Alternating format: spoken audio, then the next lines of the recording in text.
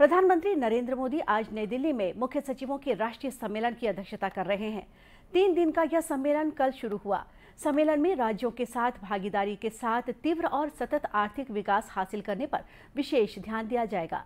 केंद्र सरकार, मुख्य सचिवों और राज्यों और केंद्र शासित प्रदेशों के अन्य वरिष्ठ अधिकारी तथा संबंधित विषयों के विशेषज्ञ समेत 200 से अधिक प्रतिभागी सम्मेलन में भाग ले रहे हैं। यह सम्मेलन विकास और रोज़गार सृजन तथा समावेशी मानव विकास पर ज़ोर देते हुए विकसित भारत का लक्ष्य प्राप्त करने के लिए सहयोगी कार्य योजना पर आधार तैयार करेगा। केंद्र और राज्य सरकारों के बीच भागीदारी को और बढ़ावा देने की दिशा में यह एक अन्य प्रमुख कदम होगा। सम्मेलन के दौरान छह चयनित विषयों पर चर्चा की जाएगी।